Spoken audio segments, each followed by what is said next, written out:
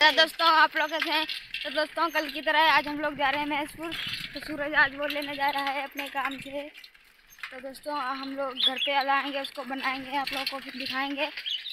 वो दगता भी है। तो दोस्तों, आप लोगों को हम दिखाएँगे महसपुर पहुँचेंगे तब। तो हम लोग आ चुके हैं महसपुर में, देख लीजिए दोस्तों। तो यहाँ पर हम लोग आए थे। देख लीजिए सूरज क्या कर रहा है। तो दोस्तों यहाँ पे हम लोग आए देखे जिस जिस चीज़ को हम लोग लेने वाले थे वो अभी खुला नहीं है दुकान। आप लोग को दिखाते हैं। तो दोस्तों आप लोग देख लीजिए दुकान बंद है यहाँ पे।